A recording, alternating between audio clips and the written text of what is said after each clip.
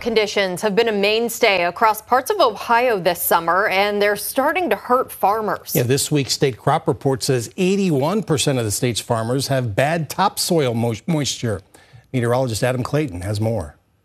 The United States Department of Agriculture has named 22 Ohio counties as natural disaster areas due to drought conditions. But how have those dry conditions been affecting crops here in the valley? Obviously throughout the summer we've seen pretty sustained dry conditions. Um, for those of us in the Columbiana and Mahoning Valley region, the the crops might not have seen quite a bit quite as much of that drought stress, say, as our southern Ohio counterparts.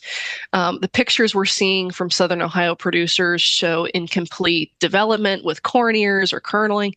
Um, soybean pods aren't quite setting right. Um, and a lot of that is due to drought stress and the lack of appropriate rain. The latest version of the United States Drought Monitor shows a level 4 out of 4 drought in parts of southern and eastern Ohio, and it shows a level 1 drought has started to impact parts of Columbiana County. Um, right now, Columbiana is considered a contiguous county, so um, that does mean that we're seeing a little more drought in southern Columbiana County than we are, say, in Mahoning. Despite the fact that Columbiana County is not in the natural disaster area, there are still some Farm Service Agency or FSA programs that farmers can take advantage of.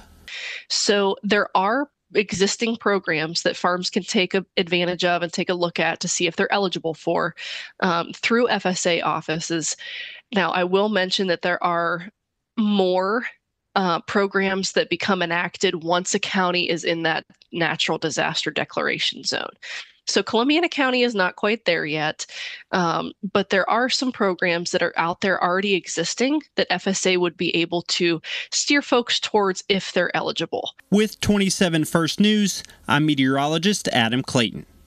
Hi everyone, I'm Lindsay Watson. Thanks for watching the WKBN 27 First News YouTube channel. If you want more video news, subscribe to our channel and don't forget to download the WKBN 27 First News app for breaking news alerts.